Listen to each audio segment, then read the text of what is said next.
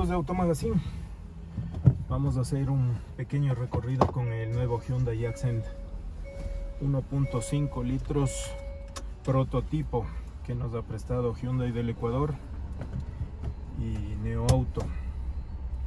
Recuerden que este modelo no se comercializa en Ecuador, no al menos por el momento, tal vez a futuro o bajo pedido. Los que sí se comercializan son las versiones L, GL y GLS. Estéticamente iguales, salvo pequeñas diferencias como las luces delanteras y posteriores y algún cromado exterior, además del techo corredizo.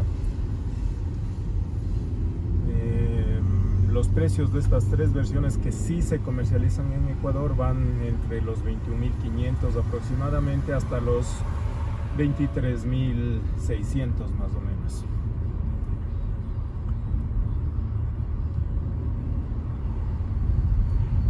Ah, es un estéticamente muy bonito.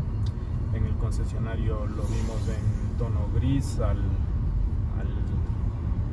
L, al GL. El GL no hay por el momento, se agotó. Todas las unidades que vinieron se agotaron ¿Y qué más? Ah, y el GLS es uno que se lo enseñamos en otro video en color rojo que estaba en el exterior del concesionario. Bueno, primeras impresiones.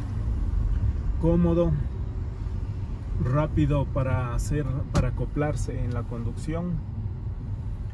Este como prototipo está muy bien equipado desde la versión GL estos Accent tienen eh, direccionales en los retrovisores que en este modelo son retráctiles, no sé en los otros este tiene una tapicería en cuero que no tienen los otros y en un color muy bonito que va con el blanco exterior de este modelo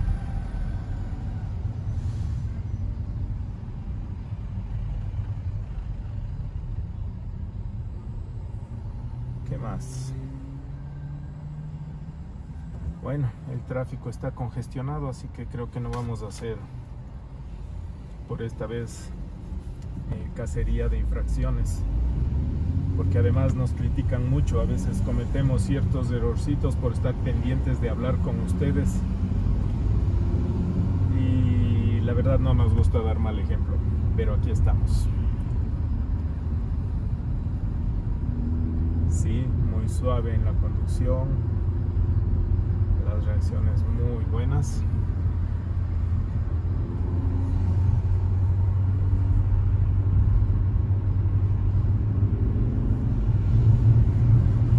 Este tiene unos aros con un diseño muy bonito. Si ven, tiene este tiene este prototipo tiene supongo que algo muy parecido al sistema ADAS con sensores de ayuda a la conducción.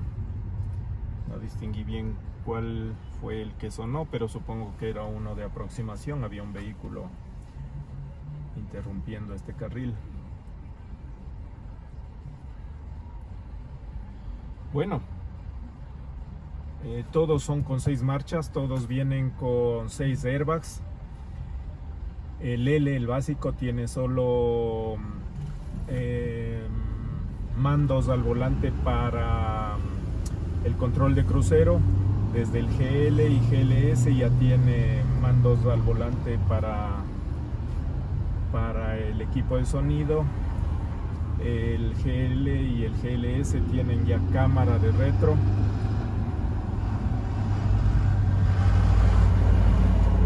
El GL y el GLS tienen también en la parte posterior salida de aire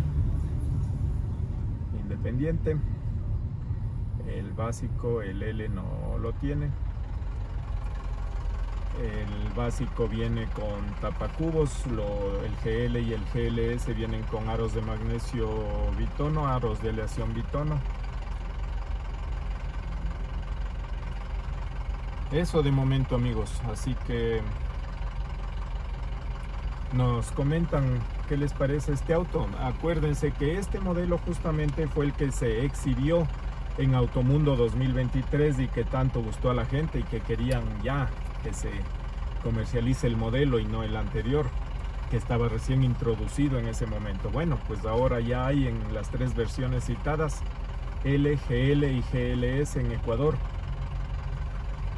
Así que escucho sus comentarios. Supongo que este prototipo les va a gustar más, pero hay para todos los gustos y bolsillos.